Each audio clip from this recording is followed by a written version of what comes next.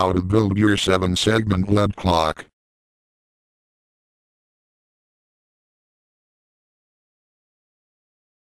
The clock build up in three main section, the 1 Hz source, the number motors, and the 4073X.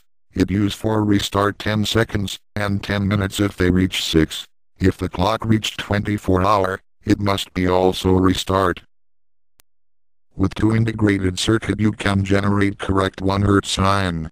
The 4060 make 2 Hz with the oscillating circuit, and the 4013 flip-flop divided with 2. And here you get the 1 Hz sine. Here is the schematic, as you can see. For display numbers, the circuit use 4026. When it get an input, the number which show, will get one higher. And when it reach 10, send an input for the next 4026. So the clock count the 1 Hz signs from the oscillator. You must set the correct time, so the circuit have two buttons, one for minutes, and one for hours. If you push down set minutes, you send a 2 Hz signal from 4060 to minutes display 4026.